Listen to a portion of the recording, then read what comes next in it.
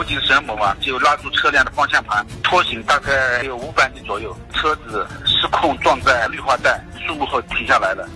驾驶员郭某立即弃车还逃跑，然后我们中队辅警沈某和我们后面增援的民警一起就是把驾驶员郭某抓抓获了，其尿检结果呈阳性嘛，是吸过毒品嘛。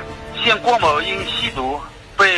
行政拘留，同时，嗯，该郭该郭某因涉嫌妨碍公务，被我局刑事拘留。